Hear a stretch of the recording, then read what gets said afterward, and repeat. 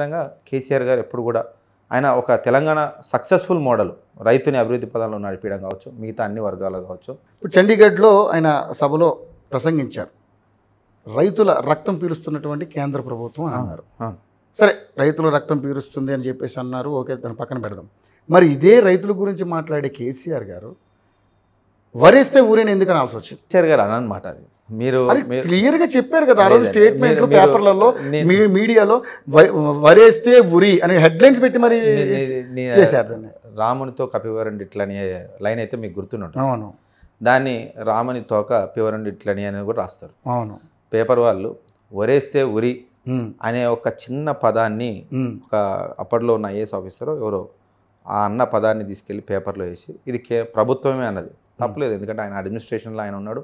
ప్రభుత్వం పరంగా ఏమైనా ఆలోచన ఉంటే ఆయన రైతులకు వివరించే ఒక పదంలో ఆ పదం ఏమైనా వాడుండొచ్చు. దాన్ని ఈ రెండు లైన్లను ఎప్పుడైనా మీరు అర్థం చేసుకోవాలి. జనాలకు మేము పార్టీ పరంగా రైతులని కేంద్ర ప్రభుత్వం ఏ విధంగా మోసం చేయాలనుకుంటుందో మేము రైతుల కళ్ళ కట్టినట్టుగా చూపిస్తున్నాం.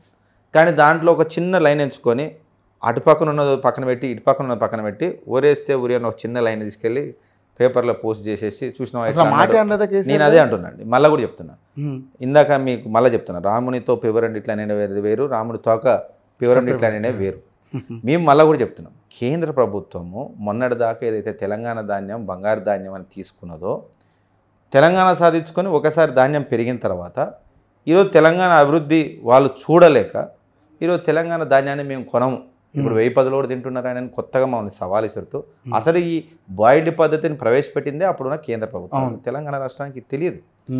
అట్లాంటి బాయిల్డ్ పద్ధతిలో మేము తీసుకోమంటే బాయిల్డ్ పద్ధతి ఎందుకు తీసుకొచ్చారు మిగతా కేంద్ర ప్రభుత్వాలు అనేది ఇప్పుడున్న ప్రభుత్వానికి కేంద్ర ప్రభుత్వానికి అర్థం కావాలి కదా? అది కూడా అర్థం చేసుకోకుండా ఎందుకంటే మన దగ్గర టెంపరేచర్స్ ఎక్కువ. ఆ టెంపరేచర్స్లో మనం ఎప్పుడైతే మనం ఒడ్లు ధాన్యం పండించడం కదా అప్పుడు ఎక్కువ నూక వస్తుంది. నూక రాకుండా చేయాలంటే ఒక బాయిల్డ్ విధానం తీసుకురావాలని చెప్పేసి అప్పుడు తీసుకురావడం వల్ల ఎక్కువ శాతం అధికంగా బియ్యం వస్తుంది కాబట్టి లభ్యత వస్తుంది కాబట్టి ఆ పద్ధతిని వాడుకున్నారు. సో ఆ పద్ధతులు వాడుకొని బియ్యాన్ని ఒక మంచి రూపంలో వాళ్ళు కేంద్ర ప్రభుత్వం కొంటుండే. కొత్తగా మేము బాయిల్డ్ పద్ధతినే మేము కొనము అన్న ఆలోచన వాళ్ళు ఎప్పుడైతే చెప్పారో మా అందరికీ నవ్వులాట. అరే తీసుకొచ్చింది మేము కాదు కదా. తెలంగాణ పండే బియ్యం ఖచ్చితంగా బాయిల్డ్ రూపంలో అయితేనే ఎక్కువ ధాన్యం వస్తుంది. ఈరోజు అది నువ్వు తీసుకునని నువ్వు చెప్తే రాష్ట్రాల మీద ఏ విధంగా భారం పడుతుంది? ఉన్నట్టుండి ఈరోజు నువ్వు కొనను అని చెప్తే కేసీఆర్ గారు ఇదే చెప్తున్నారండి. ఎఫ్సిఐకి సంబంధించి ఫుడ్ కార్పొరేషన్ ఆఫ్ ఇండియా ధాన్య సేకరణ కనుక ఆపేస్తే భారతదేశానికి ఉన్న జనాభా ఇప్పటికిప్పుడు అనుకోని సంఘటన వల్ల ఏదైనా పెద్ద యుద్ధమే వస్తే ఒక వారం రోజులు భారతదేశాన్ని మొత్తం కూడా ఒక నెల రోజులైనా అనుకోండి వారం రోజులు అనుకోండి. ఈ వారం రోజులలో భారతదేశాన్ని పెంచి పోషించగలిగే ఏ శక్తి మిగతా చుట్టుపక్కల ఉన్న ఏ దేశాలకు లేవు.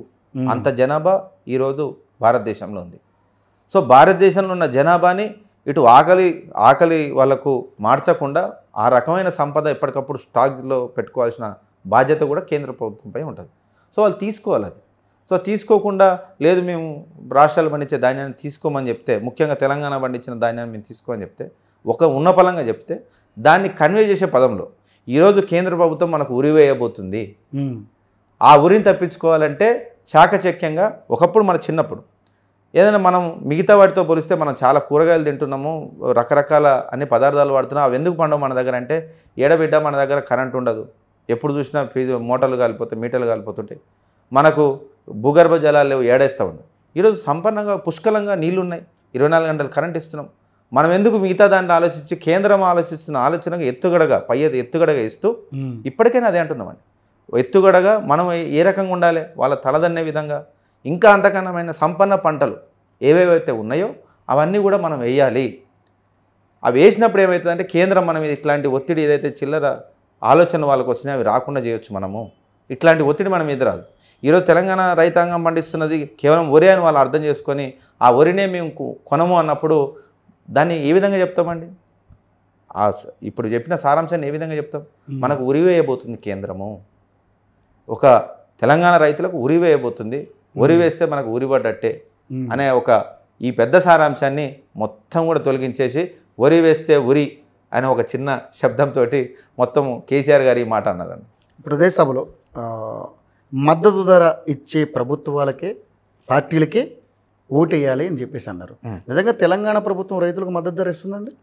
నేను అదే అంటున్నాండి కేంద్ర ప్రభుత్వం ఈ మద్దతు ధర అనే దాని మీద ఒక చట్టం తీసుకురావాలి. ఒక్క రాష్ట్ర ప్రభుత్వం తీసుకొస్తే కాదు అది పెద్ద అంటే మన రైతాంగానికి మన రాష్ట్ర ప్రభుత్వం అదే మీకు చెప్తున్నా. అంటే రైతు బంధు ఇచ్చి లేకపోతే రైతు బీమా ఇస్తే సరిపోద్దా? రైతులకు మద్దతు ధర మద్దతు ధర గురించి మళ్ళీ చెప్తున్నాను. రైతు మద్దతు ధర అనే చట్టం తీసుకురావాలంటే. అది మిగతా రాష్ట్రాల్లో ఈ రోజు తెలంగాణలో. నేను మొన్న అడిగిన. ఎందుకంటే యువ నాయకుని ఇక్కడ ఉన్నప్పుడు నాకు మీకంటే ఎక్కువ క్వశ్చన్లు నా మైండ్లో ఉంటాయి. మిల్లర్స్ అందరిని పిలిచి పిలిపించిన తర్వాత రెగ్యులర్గా వాళ్ళతో మాట్లాడడం జరుగుతుంది. ఏం జరుగుతుంది? మనం ఎందుకు ఇంకే రకంగా చేయొచ్చు అనే దాని మీద. కేసీఆర్ గారు ఇట్లా ఉన్న ఇట్లా అన్నారు. మన దగ్గర పరిస్థితి ఇట్లున్నాయి.